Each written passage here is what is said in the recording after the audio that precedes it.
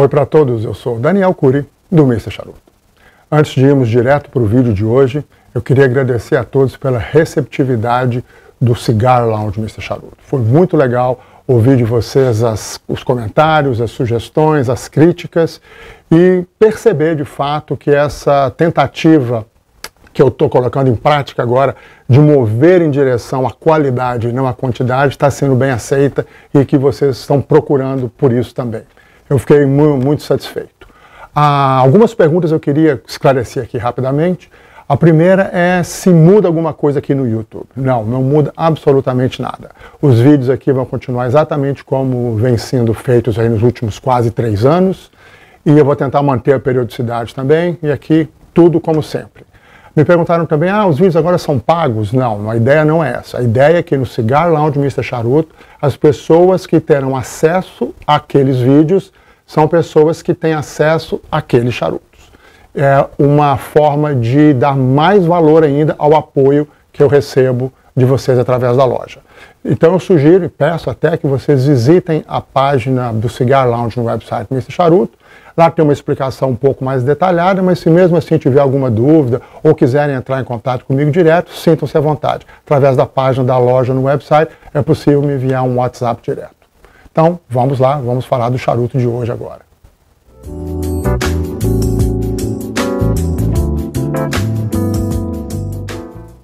O charuto que eu escolhi hoje é o Monte Cristo Espada Guard. É este stick aqui, é um belíssimo stick. Ele é um touro, o guard se refere ao touro, ele tem 6 inches de comprimento por, com um ring gauge de 50. Ele é um charuto feito na Nicarágua e ele foi lançado em 2014. O wrapper dele é um Habano Jalapa de 2010. O binder é o mesmo fumo, mas de 2009. Já os fillers dele, porque são três fumos no filler, um deles é o Habano Jalapa folhas seco, o outro é o Habano de Ometep folhas viso e o outro é um Habano a Condega em, usando as folhas ligeiros. Esses três fumos do filler são fumos de 2018. Então a gente tem aqui fumos envelhecidos de 11 a 13 anos.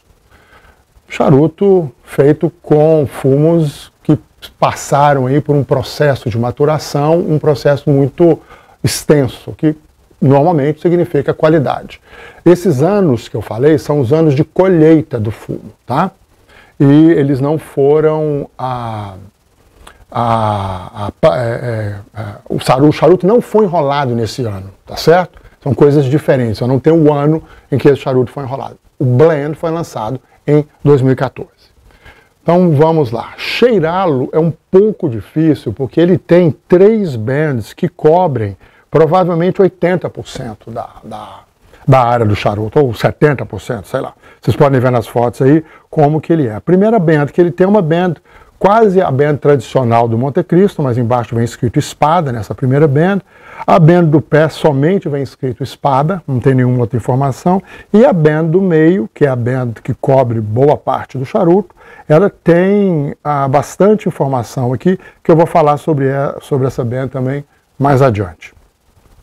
Então, vou tentar cheirar, vamos ver o que, que eu consigo aqui, né? Bom, cheiro doce, bem visível, bem caramelo mesmo. Bem agradável o cheiro. Aqui no pé, é aqui um cheiro de papel, um cheiro que não é de charuto. E no pé, um cheiro de feno mesmo, de folha, nada muito, ah, nada muito vibrante. Agora aqui na cabeça o cheiro doce de caramelo é bem ah, significativo. Então eu vou tirar primeiro a benda do pé.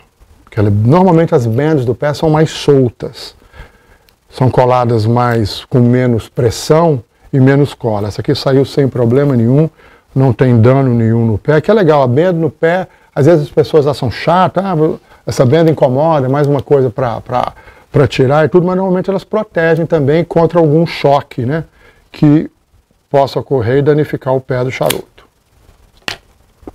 Eu usei um cortador de duas lâminas hoje, não usei o Perfect Cutter. O fluxo parece perfeito. Muito bom.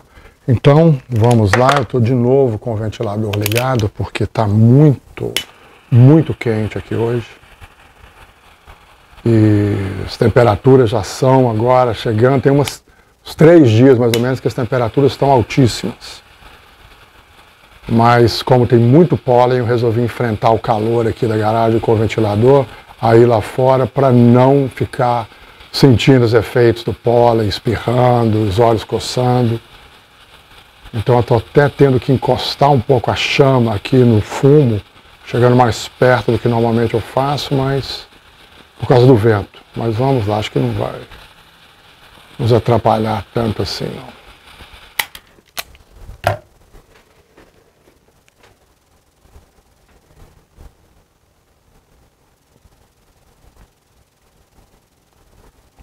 Acendeu bem. Hum. Sabores potentes, nada full body, mas bem marcados, doce, bem doce, mas a mesma doçura do caramelo que eu senti no cheiro, que é uma doçura aí mais do habano mesmo, bem característico do, dos rappers habano.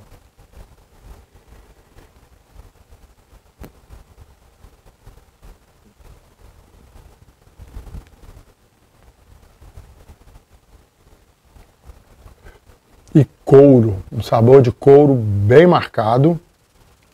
O retroreio, eu não vou dizer que foi pimenta, trouxe mesmo a agressividade da fumaça, mesmo passando pelo, pelo, pelos, pelos sinos, né, pela parte nasal. Não é pimenta de jeito nenhum, é só agressividade mesmo. E um couro doce. E nada, acho que nada mais a marcar. O finish bem igual ao draw, esses dois draws que eu dei, o finish foi bem semelhante em termos de sabor. Talvez um cítrico mais no finish, não sei. Deixa eu dar mais um, mais um draw aqui, vamos ver como que.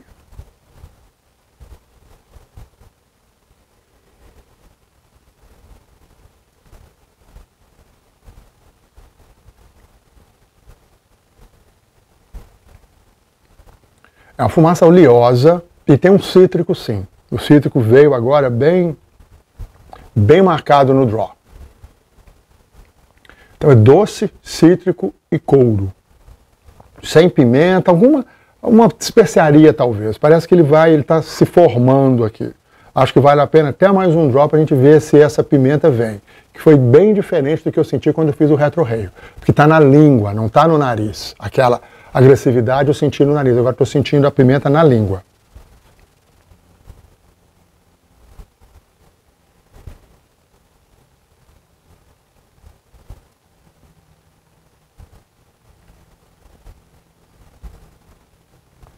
Exatamente, o retrorail não traz pimenta. E não, dessa vez eu não senti pimenta no draw. Mas vamos lá, vamos deixá-lo evoluir um pouco, passar um pouco o tempo aqui para a gente descobrir mais. Já tem uns 10, 15 minutos que eu estou fumando, já está na hora de tirar a primeira band, e, que é a grande, né? A primeira não, desculpa, a segunda band, né? A band do centro. E ela é uma band bem grande, ela ocupa aqui agora ó, essa extensão toda aqui do charuto. Eu vou usar meu canivete para não correr o risco de sair puxando parte do wrapper. Vamos ver como que ela vai sair. Ela está muito grudada. Não. E dá para ver aqui que ela é alta adesiva. Já dá para ver a marca perfeita dos quadrados aqui. Vamos ver aqui no final. Ela tem uma, tá uma parte não excessivamente colada. E mesmo assim ela vai romper aqui uma beirada. Olha aqui o que está acontecendo. Estão vendo? Tem uma tira do papel da band que não quer. Deixa eu colocar o canivete aqui, que é capaz de ser uma boa opção. Desde que eu não fure o wrapper, é claro. Aí, uma cirurgia aqui e consegui. O wrapper está intacto, a band muito grande, está aqui. Mais adiante eu vou mostrar as fotos delas. Vou colocar ela debaixo do isqueiro para ela já ir ficando mais plana. Eu vou até dar mais uma puxada aqui.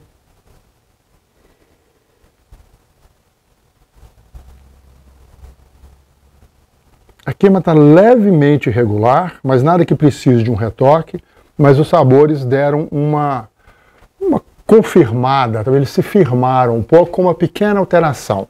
O finish dele é bem longo e com sabor de madeira, mas uma madeira amarga que tá tá, para mim está me parecendo uma combinação de madeira e café. O, a fumaça, aquela doçura, tá, são ah, dois, dois aspectos que são muito cremosos. Não tem o sabor de creme, mas eu tenho essa fumaça cremosa, uma fumaça que dentro da boca é confortável, é convidativa. E madeira, é, couro e continuando com aquele caramelo doce também.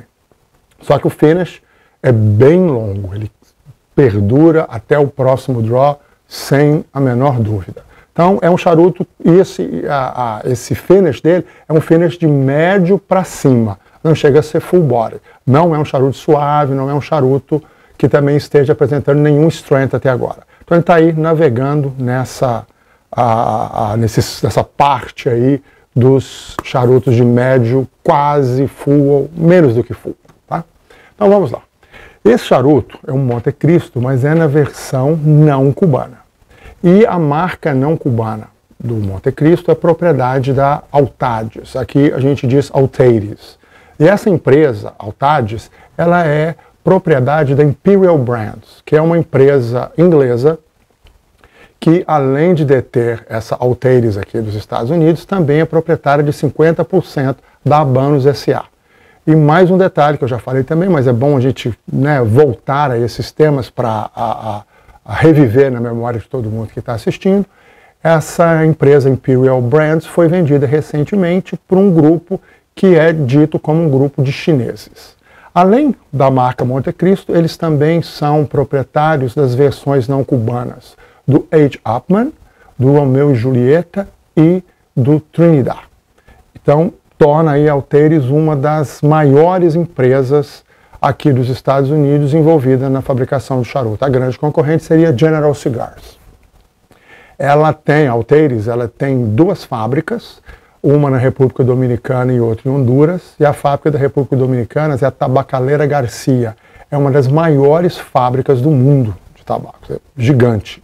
Mas este blend aqui não foi feito lá na República Dominicana e nem em Honduras. Foi feito na Nicarágua, como eu disse. E numa associação com a Placência Cigarros. Então ele é fabricado na fábrica da Placência.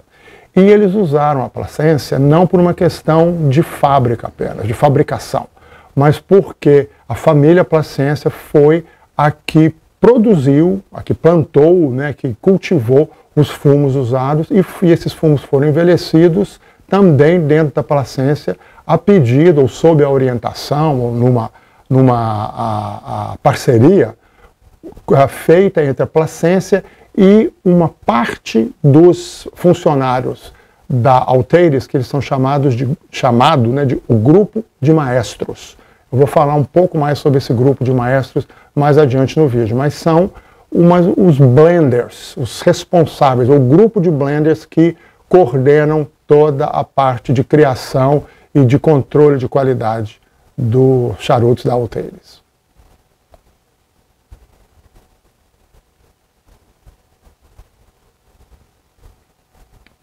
Vocês veem a performance, eu fiquei falando aqui, não sei, dois, três minutos, não puxei e ele está queimando normalmente temperatura, nada, completamente frio aqui perto da Cherry.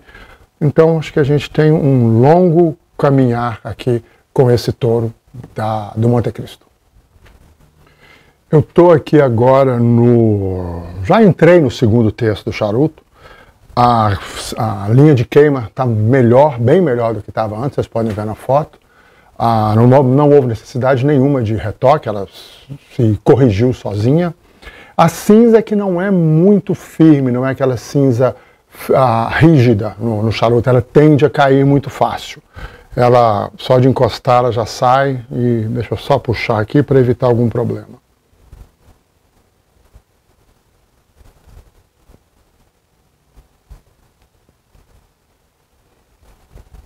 Mas ele está sendo um charuto até agora de sabores mais constantes apesar de ter surgido agora um pouco de pimenta no draw.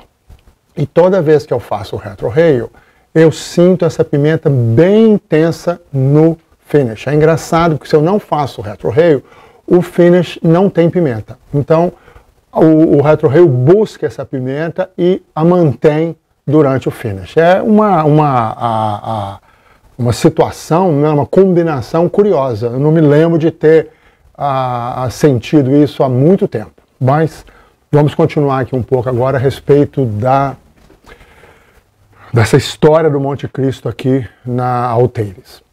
Aqui nos Estados Unidos, os charutos da Monte Cristo, versão não cubana, são reconhecidos como charutos mild, charutos muito suaves. E a Altair, sabendo da exigência do mercado por charutos de bore mais alto, a Folha né, se empenhou em oferecer isso para os seus clientes. E o Monte Cristo Estrada, Espada, faz parte dessa tendência do mercado.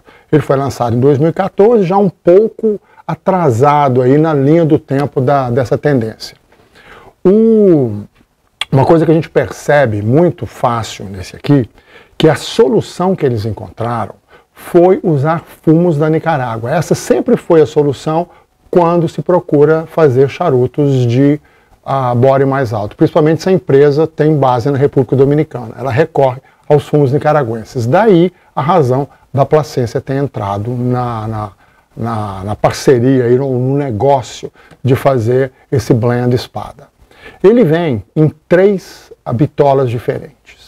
Uma é chamada de Ricasso, que é de 5, é um, um robusto 5 por 54, o Guard, que é um touro 6 por 50, e o Killian, que é um pouco maior, é um, um Churchill 7 por 56.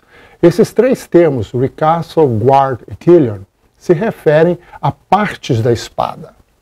O Ricasso é a parte da lâmina mais próxima do punho que não é afiada.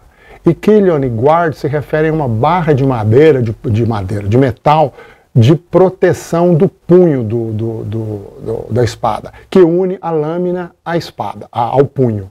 Então é uma alusão o tempo inteiro a esse tema espada. O, é um charuto que tem um tema bem claro. A gente percebe isso nas bands, percebe isso nos nomes e essa, esse uso de termos técnicos da, da cutelaria. É uma. A, eu, eu sempre acho que quando o charuto, o blend, existe uma pesquisa por trás dele, alguma informação é trazida para nós fumantes, sempre adiciona alguma coisa, é sempre uma experiência mais legal e a gente acaba não só fumando cigarro, mas aprendendo alguma coisa, ou tendo um pouco mais, tendo acesso a algum tipo de informação que seguramente só é, é seguramente quem não é interessado por espadas, por esgrima, por coisa parecida, iria buscar esse tipo de informação. Então é uma coisa que não tem muita utilidade, mas a gente se informa um pouco mais e passa a ter um pouco mais de cultura também fumando charutos, né? Para quem gosta da, daquelas listas da Cigarra Ficcionário, Stop 25, a bitola Killian, desse blend espada, foi eleita a número 20 no ano de 2015, que ela foi lançada um ano depois da Guard. E um, aquela velha história, né? não quer dizer muita coisa, mas é, sem dúvida nenhuma, significado de, uh, de um charuto de boa qualidade. Eu quero falar um pouco das bands, eu já tirei duas delas, eu vou tirar a terceira aqui, não, tá, não estaria nem no, na hora mais adequada de tirá-la, mas eu vou tirar para poder tirar uma foto também e colocar aqui. Cadê a lâmina? Está aqui. Não é uma espada, né? É um mero canivete mas a emenda está para o lado de cá. E essa parece muito bem colada. Vamos ver aqui. Também parece ser autoadesiva. É. Bem colada e sem causar nenhum dano. Ótimo. Então, a primeira coisa, assim, dentre as bands que a gente tem, a primeira é essa aqui, que é uma band bem tradicional do Monte Cristo mesmo, do cubano, uma cópia da, da, da banda original. Está escrito Monte Cristo, circulando, circulando, circundando, né? A, a imagem aqui do Flor de Lis, né? Que é um, um, um, um desenho, né? Vocês estão vendo na foto aí, fica mais fácil ver do que tentar explicar. A band que tem no pé é uma band super simples também, só está escrito Monte Cristo dos dois lados e no centro escrito espada. Ela não tem uma grande significado a não ser proteger o pé do charuto. Agora, a band do meio, essa sim já é mais cheia de informação. Primeiro a gente tem na parte superior dois floretes se cruzando e escrito espada novamente, com umas, uh, uns desenhos, um design atrás no fundo, que dá mais escuro, que dá uma bela, um belo contraste com os floretes que são dourados em relevo, escrito novamente Monte Cristo. E na parte de baixo, a gente tem algumas informações aqui dizendo que esse charuto foi blended pelo grupo de maestros e fabricado na fábrica da Placência, de onde também os fumos são originados. E algumas assinaturas aqui, que eu imagino serem quatro assinaturas, que certamente são do grupo de maestro, dos blenders desse charuto. Além disso, a band tem também na parte superior e inferior um picotado. Se desse uma ideia de continuidade, né? as outras bands ah, foram tiradas daqui. Eu acho muito legal a solução, acho muito bonito o desenho ah, que eles usaram nessa band e na combinação deles. Dá um charuto que a gente não vê o rapper muito, é uma, ah, um lado negativo, mas o charuto, o produto do charuto é muito bonito, é muito atraente. Eu gosto e está tudo muito bem composto, as cores são legais, os papéis que eles usaram são legais, são diferentes, o papel do meio é um papel mais seco, sem nenhum tipo de verniz, os outros dois já são, já são papéis mais envernizados, mais brilhantes. Eu acho uma combinação bem que adiciona valor para o charuto. É, é, é uma coisa bem legal.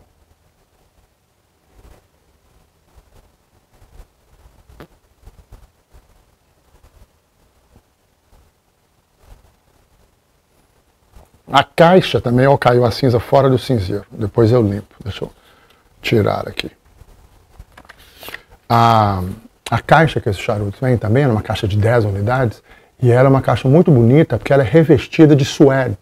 Suede é um, um couro, né? não sei nem se é um couro, um tecido, couro, meio aveludado e tal. É uma, um, um, novamente um produto de boa qualidade, bem tratado, bem feito.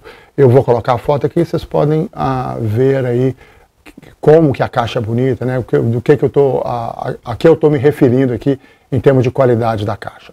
Já em termos de sabor, esse charuto ele não teve nenhuma grande modificação ainda, de, nenhuma transição de sabores.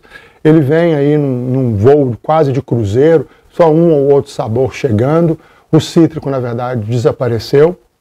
Essa, a pimenta continua, está bem a, a, presente no finish, mas é mesmo o típico charuto que a gente fuma e tem o peso dos fumos nicaragüenses. Não é um full body, nada em excesso, o strength também eu não estou sentindo nada, mas ele é fácil de ser identificado como aquele charuto médio, com body mais alto, um pouco mais pesado em termos de sabor e de presença na, na dentro da nossa boca, por usar fumos da Nicarágua. Um puro nicaragüense de, de tabaco e de fabricação.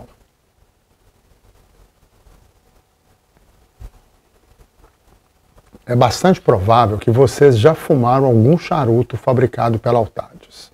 Ela está no mercado desde 1918, em diferentes formatos. Ela nem sempre foi propriedade da Imperial Cigars, da Imperial Brands.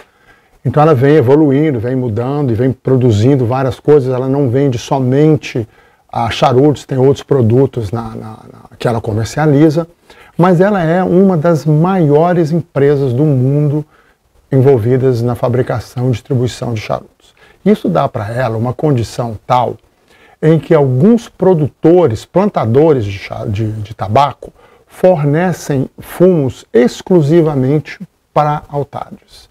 E isso quer dizer que ela acaba tendo acesso a fumos que são únicos, ninguém mais acessa esses fumos. E isso dá para ela uma condição de fabricar charutos com uma, uma consistência muito grande de sabores. De ano para ano, de safra para safra, os, os, charutos produzidos pela Altades mantêm uma semelhança entre os sabores muito grande. Isso é uma possibilidade que só empresas muito bem estruturadas, empresas com a, um poder no mercado muito grande, atingirem. Nenhuma, pequenas empresas têm, grande, têm uma dificuldade maior para atingirem esse tipo de uh, resultado. E a Altades, além das fábricas na República Dominicana, que é a Tabacaleira Garcia, e em Honduras, ela se associa a pequenas fábricas na Nicarágua e no México. A Placência não se encaixa dentro a, a, desse perfil de uma pequena fábrica. Eu acredito que isso seja um projeto especial entre as duas empresas, mas as fábricas, outras fábricas da Nicarágua e do México que produzem para Altades produzem num sistema de subcontrato. Né? Elas são contratadas para produzirem por algum motivo de proximidade da, da, da matéria-prima, alguma coisa assim, ou então algum a, a, um especial, que tem uma mão de obra específica ali, a Altades não quer implementar esse sistema dentro da sua estrutura, ela se associa a essas pequenas fábricas. Agora, uma grande coisa dessa a produção quase em massa que a Altades faz é, é, é ter aquele grupo de maestros gerenciando a qualidade e a criação dos blends. Só que antes de falar do grupo de maestros, eu quero falar um pouco sobre os sabores desse, desse charuto, que aconteceu uma transição bem significativa. E que eu estava até imaginando que ele ficaria sem transições, mas não. Teve uma transição bem forte.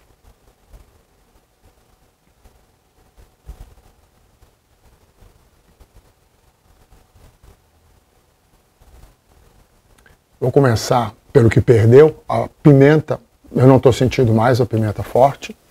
A, aquela doçura diminuiu um pouco, o cítrico já tinha diminuído, mas a doçura continua, o caramelo continua também, mas a, surgiu agora como o, o sabor dominante o chocolate.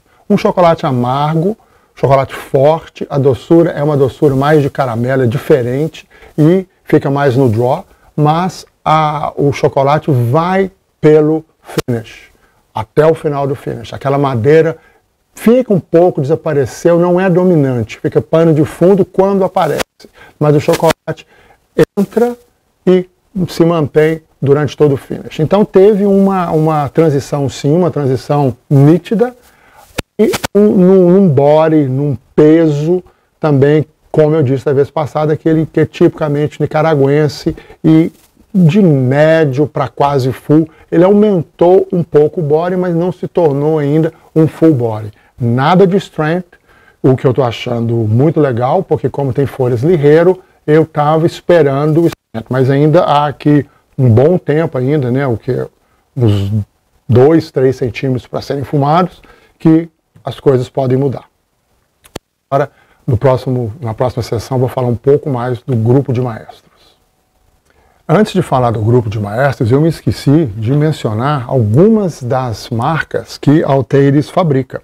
E por essas, é, pela existência dessas marcas, eu acredito que vocês já devem ter fumado algum charuto da Altares.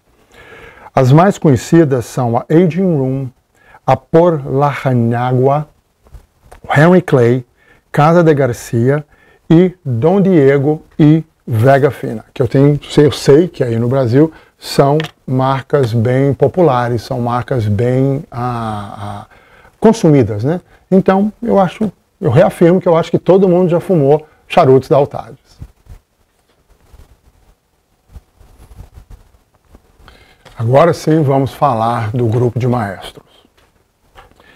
Esse, esse grupo de blenders são, é, é formado por a, funcionários de longa data da empresa e são a pessoas envolvidas com, com a produção de charutos, com o processo de, de formar um charuto, um blend, né, uma receita, por muitos anos. Eles são experientes, eles são muito capacitados e eles, além, como eu disse, de participarem da criação, também participam do controle de qualidade. Atualmente ah, existem seis blenders senior, seis maestros senior e a equipe por trás deles, que eu não tenho ideia de quantas pessoas que, que estão ali diretamente envolvidas com o grupo de maestros. Mas o chefe, né, o líder desse grupo, ele tem o nome de Javier Elmudezi. E além de ser o responsável pelo grupo de maestros, ele também é o gerente principal da empresa. Então, ele cuida não só dos maestros, dos blends e tudo, mas também cuida de questões práticas do funcionamento da empresa.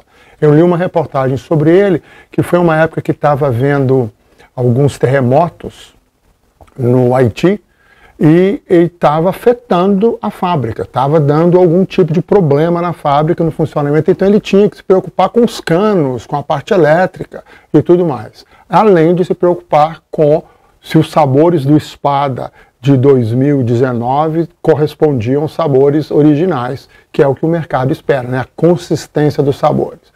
Então é uma grande empresa e o, as pessoas que administram a empresa, que estão envolvidos ali no gerenciamento do dia a dia da empresa, são pessoas extremamente capazes e preparadas para isso.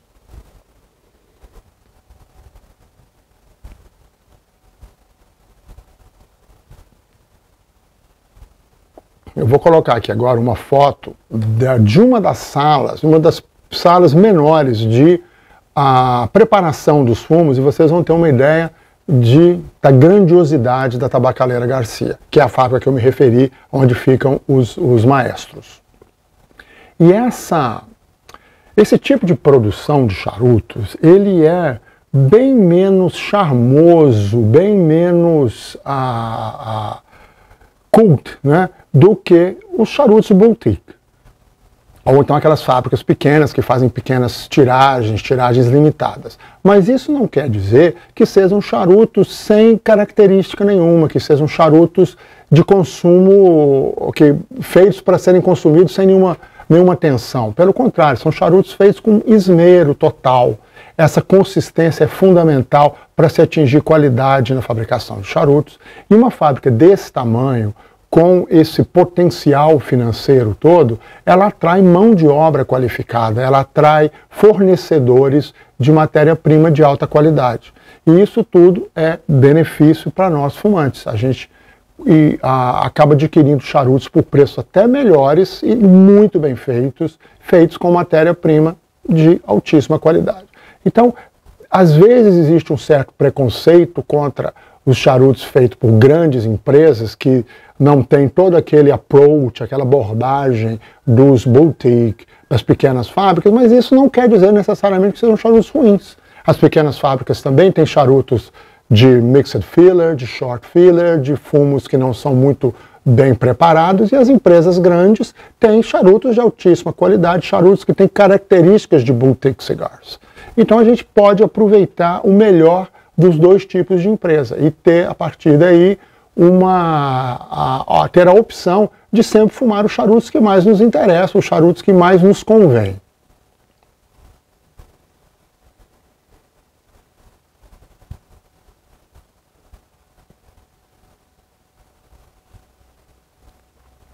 Esses maestros, eu acredito que eles teriam condição técnica, de conhecimento, né, de expertise, de terem suas próprias fábricas, de fazerem os seus blends e empreenderem ao invés de serem funcionários de uma empresa.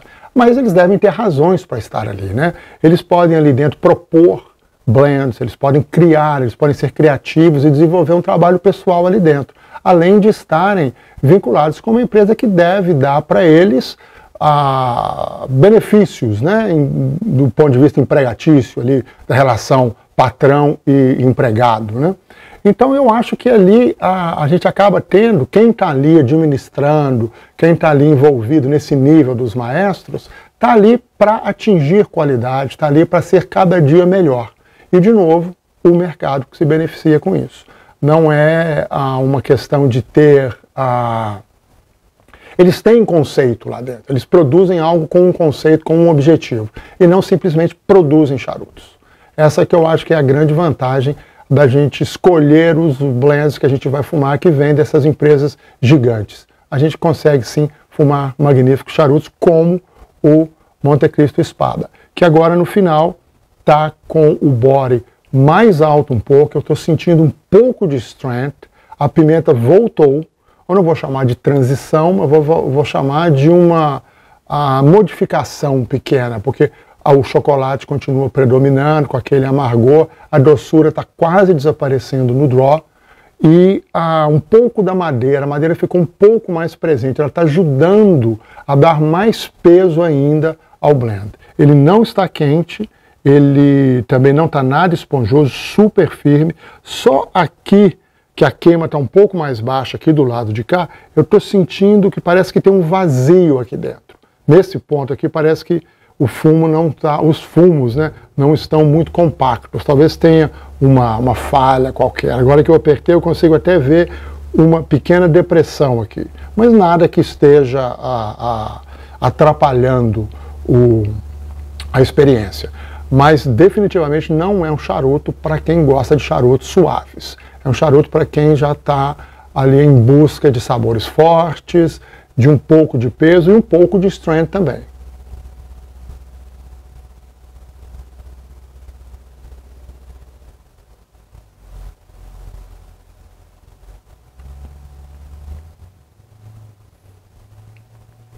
É, o retrorail está colocando mais pimenta ainda.